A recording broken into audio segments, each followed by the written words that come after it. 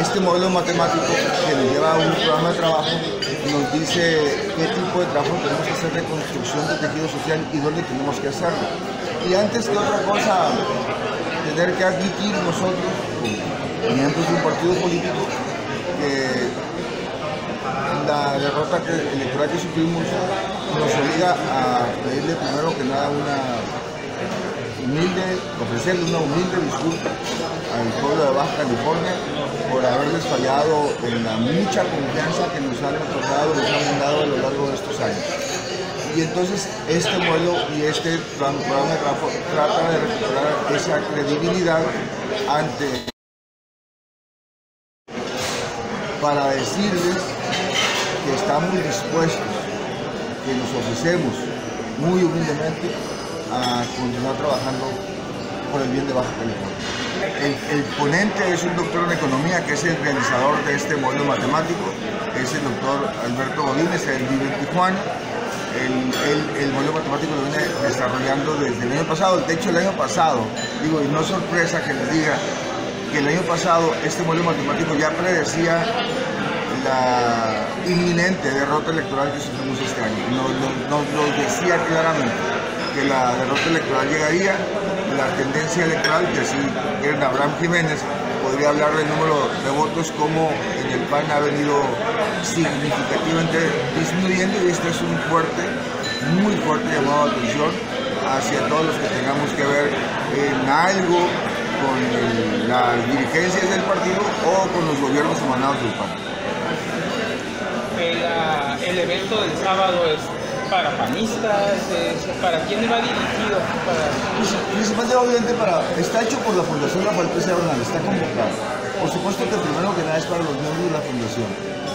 Luego para los panistas y simpatizantes y para el público abierto, la invitación es general, ojalá ustedes nos puedan acompañar porque ahí se enterarán de justamente cómo está hecho el modelo electoral, habla de la rentabilidad electoral que tiene por secciones en todo el estado, por distrito por secciones, está muy bien mapeado, eh, hay una cartografía electoral que está anexada, una georreferenciación que se hace incluso del número de simpatizantes y el número de ciudadanos probablemente o potencialmente electorales de esa zona, cómo nos ha ido históricamente y cómo podríamos trabajar para que el próximo año al menos detener la sangría electoral que estamos teniendo este año. Esto, esto es pensando en el proceso ya para mejorar, ya para el proceso.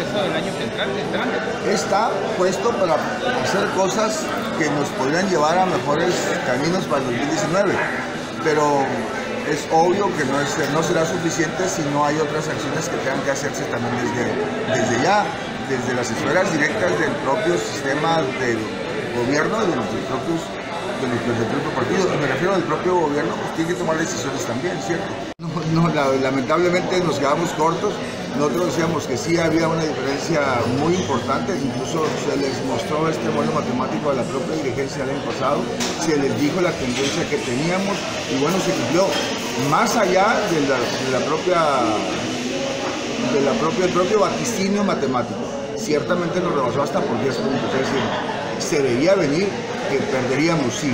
Incluso los candidatos fueron avisados de, esta posibilidad, se les dijo de esta posibilidad desde la fundación, se advirtió, se les comentó, se les compartió que esto podría ocurrir y simplemente ocurrió. O sea, no, ¿Y no les creyeron?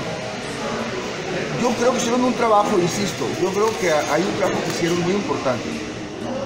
No fue suficiente ya veníamos cayendo electoralmente desde, desde muchos años atrás, del 2010, 2012, era claro que ya veníamos bajando en nuestras preferencias electorales. En el número absoluto de votos ya veníamos disminuyendo, venimos disminuyendo desde entonces. Es muy obvio y es muy notorio, no es sorpresa para nadie. ¿Y para el 19 cómo la ven? Muy difícil, muy complicado.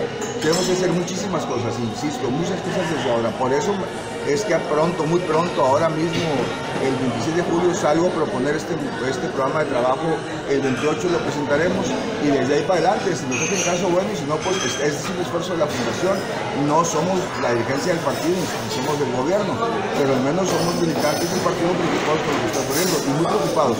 Es muy complicado, muy difícil que ganemos la elección del 2019, sí.